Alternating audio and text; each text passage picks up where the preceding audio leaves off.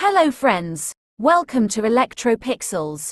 If you like our channel, please don't forget to like, share, subscribe and press the bell icon for getting further notification.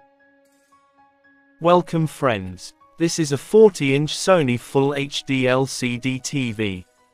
In this TV the complaints are no power issue and no blinkings. While checking we found that, the problem is with the motherboard due to lightening. Since it's an old model Full HD LCD TV new board is not available. So instead of searching used board for this TV here we installed new Universal LCD, LED motherboard. See all connections details are written on the SMPS board. Below the SMPS board we short 3.3 with standby pin for enabling power supply on. After that here we wired all connection from the original socket. It helps to keep the original socket for future. Black wire represented 12 volt input VCC. Yellow wire represent backlight on, finally black wire G-end. Here all other connection IR and speakers everything is now connected in sockets.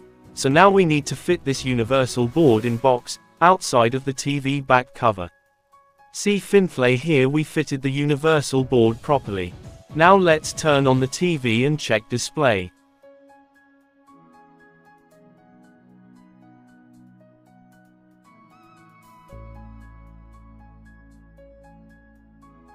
See while checking now display comes and TV is crystal clear. See by default the resolution and LVDS mapping is correct. But to enable auto power on and to set logo we need to enter into the service mode. The code for entering service mode is press input 208 on remote.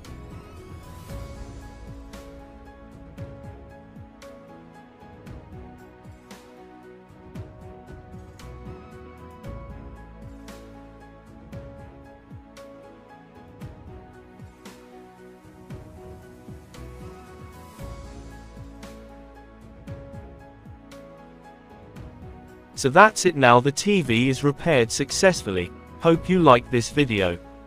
If you like our channel please don't forget to like share subscribe and press the bell icon for getting further notification.